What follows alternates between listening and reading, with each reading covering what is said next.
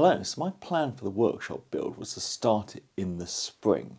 The trouble is, the end of last year was freezing. It was actually frosty on the inside of the workshop and I nearly just gave up working. I ended up moving the bench inside and it made me think I really don't want to go back out there and I need to build a workshop. I looked into getting a metal workshop because they're so cheap and I nearly clicked the button and ordered one. But after thinking about it a bit more, I thought I'd never be happy with it. But I decided to move the schedule up as soon as I got back after Christmas, and the first thing I did was get the old shed taken down. The floor was rotten, and so was the roof, but I put it free to collect on Facebook Marketplace, and someone came and got it, and they were really pleased with it, so they're glad to see that gone. And with it gone, I could really make a plan. Now, it's got a nice concrete slab under there that's nice and flat and level it's a bit smaller than I would like, but I really want to keep the costs down. And if I can use this slab, then that will help. Now, initially, I wanted it a bit bigger and I was going to build a frame and fill it in.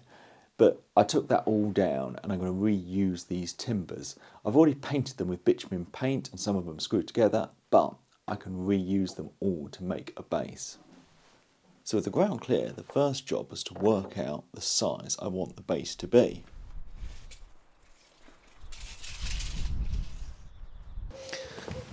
Now I can get them marked out and I'm going to cut them to length using my new miter saw stand.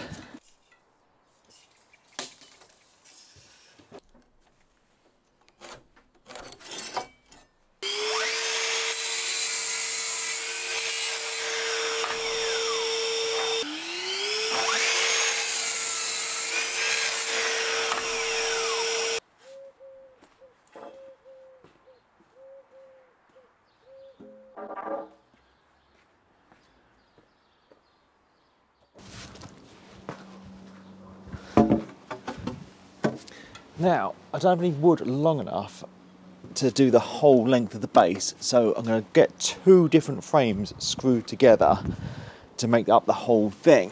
And I'm just going to get this all put together with some deck screws.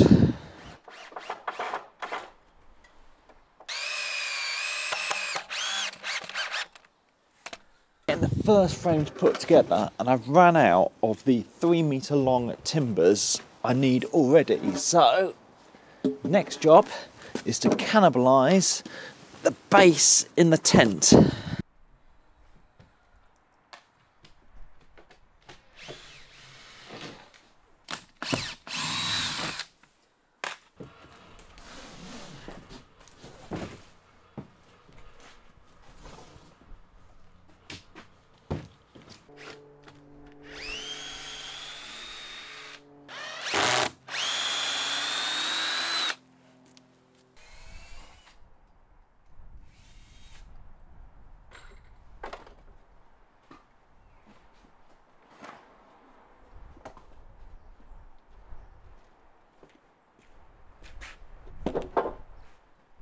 Right, now I've got those bits of wood, I can continue getting the big of the two frames screwed together.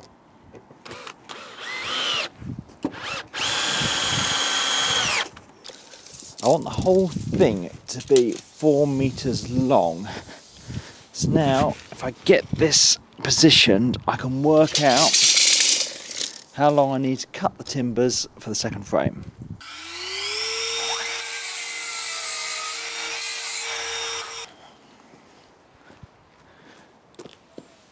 This smaller frame now can get screwed together exactly the same way as the first one. Right, both the frames are together, but I'm not going to attach them together next. I'm going to cut the noggins and get them put in.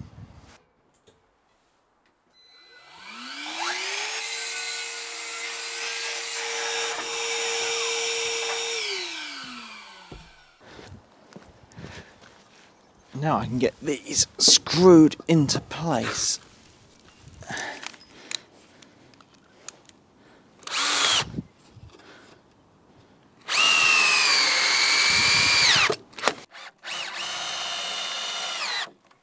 So I've got the two frames put together, but I'm not going to get them attached together yet, because as you can see, this is all made out of treated timber, but some of it has got bitumen paint on.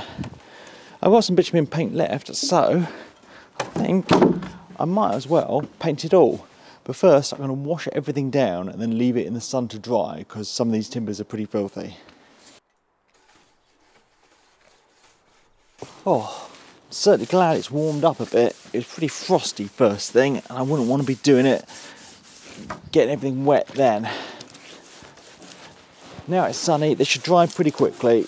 Now, a full sheet of OSB isn't going to quite stretch, so I'm just adding in some little extra bits of wood for support, which is good because it gives me something to do while I wait for the frost to actually clear.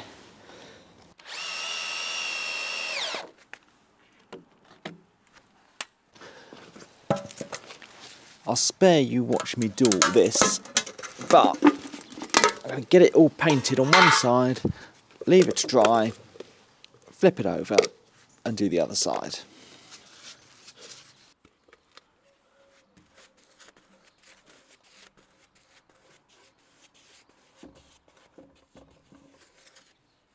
So I got this all painted and left it to dry. As you can see, it's blooming cold out today. Now I can get these two frames pushed together and attached.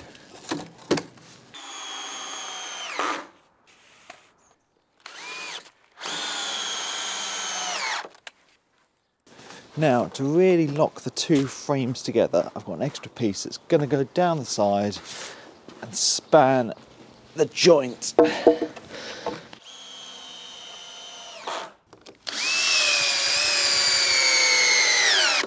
Now, I don't want this frame just sat on the concrete slab. Few reasons. I don't want water getting up and I want some good airflow. And what I've got is this pile of paving slabs that were here in the house. So I'm going to get them arranged under the frame to lift it up.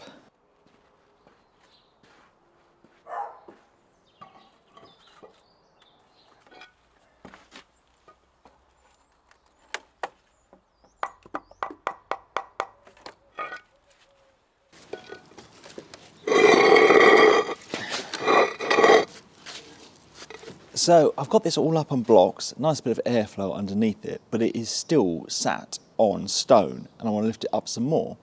Now to raise it up a little more, what I have is some of these spacks, decking supports. They're kind of this rubber pads, so I'm just going to get them put under it. They come in packs of 25 and I got two packs because I wasn't sure how many I would need. I haven't used them all up but I'm definitely glad I bought the second pack of these. Right, this all seems really nicely supported, no flex in it. But before I can get the sheets on, I need to do two things. I need to check that it's all square and wait for this frost to all melt because I don't want to trap that under there. But the sun's out now. So I'm to get the tape and go from corner to corner and check square and just knock it around until I get it perfect.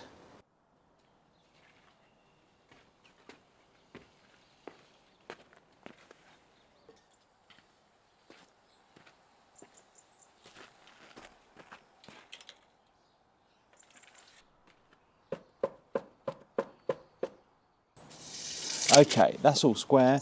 The next job is to get some sheets of OSB on, which are square themselves, so they will help pull anything square and keep it there. But I'm just going to wait for this to dry off, so I'm going to go inside and have a cup of tea.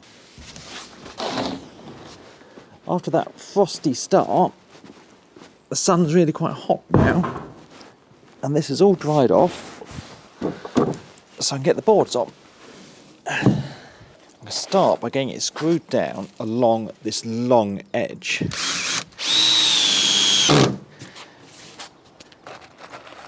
Then I can check how square it is on the side, make adjustments and get the rest of the screws in.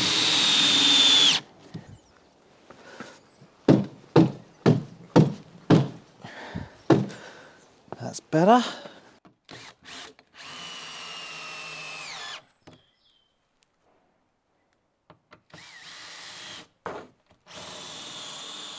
So the workshops will be slightly larger than a sheet of OSB, so I just need to cut down some little strips to fill this in, and I'm going to do that on the table saw.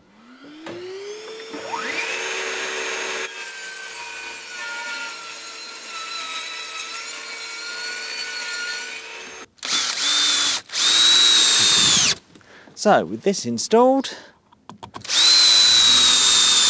that's the floor all done. Now this is some pretty thin OSB, because I got it for the floor of the tent when timber prices were at their peak, I think. So when I finish the room, I'm going to put a second skin of floor in to uh, make it much more stable. So that's the base all done. I've got a tarpaulin to get it all covered up and then next job is to get the walls framed. So I'll see you next time for that.